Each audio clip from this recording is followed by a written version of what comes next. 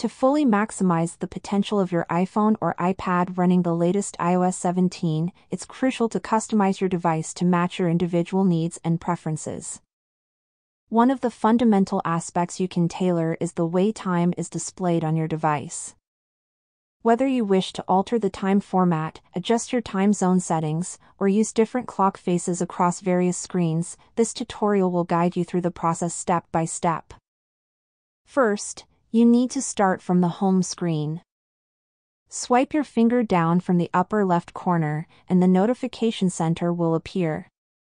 Press and hold the part of the screen you want. Then, click on Customize at the bottom of the screen.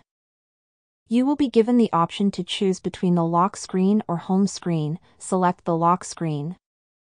Now, all you need to do is click on the clock.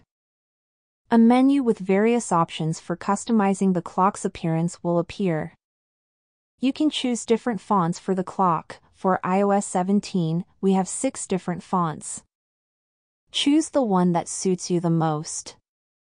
The slider below the fonts is for adjusting the thickness of the numbers on the clock. Of course, the last option is for selecting colors.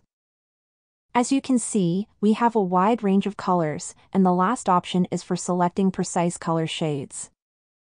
When you finish editing your clock, all you need to do is click on Done in the upper right corner. All your changes will be saved. In this short and quick but very useful tutorial, we've shown you how to change the appearance of your clock in iOS 17. If you want more tutorials like this, leave a comment below. Thank you for watching, and see you soon.